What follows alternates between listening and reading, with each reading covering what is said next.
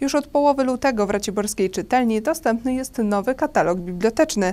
Co się zmieniło i jak teraz można korzystać z zasobów biblioteki opowiemy w materiale. Dwudniowe zamknięcie oddziałów i filii bibliotek w Raciborzu poskutkowało wdrożeniem nowego systemu katalogu online. Działający od 19 lutego system cieszy się sporym zainteresowaniem czytelników. Przede wszystkim katalog jest y, moim zdaniem y, ciekawszy, bardziej intuicyjny, a poza tym ma dużo nowych funkcji, które można wykorzystać przy wyszukiwaniu zbiorów. W poprzednim katalogu nie można było sobie wybrać chwili, w której chce się szukać zbiory. Teraz jest taka możliwość. Jeżeli ktoś mieszka na przykład na Ostrogu, może sobie zaznaczyć filię na Ostrogu i znaleźć nowości w tej. E, jest możliwość zaznaczenia zbiorów, e, jeżeli są dostępne. Tak? Szukamy zbiorów, które możemy wypożyczyć, a nie wszystkich.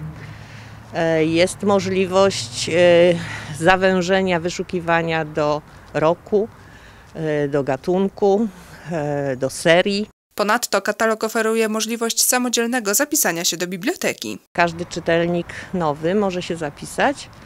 E, jego konto jest ważne przez 5 dni, ale już po zapisaniu się internetowym może zamawiać książki, rezerwować książki.